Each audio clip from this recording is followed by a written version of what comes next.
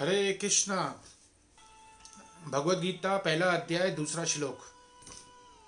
संजय कहते हैं संजय उवाच दृष्टवा तु पांडवानीकम व्यूढ़ दुर्योधन स्तदा आचार्य मुपसंगम्य राजा वचनम भिर्वित।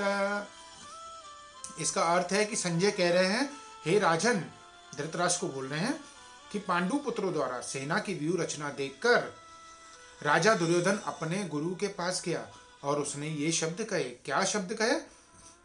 वो सीखेंगे अगले श्लोक में, तीसरे श्लोक में।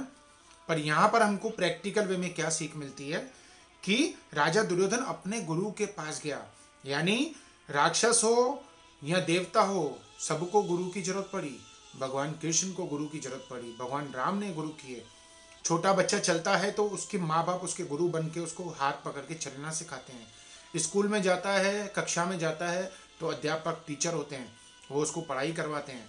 भौतिक पढ़ाई होती है, जिसमें वो उन्नति करता है, बड़ा होकर डॉक्टर बनता है इंजीनियर बनता है तो उसमें भी गुरु की आवश्यकता रहती है।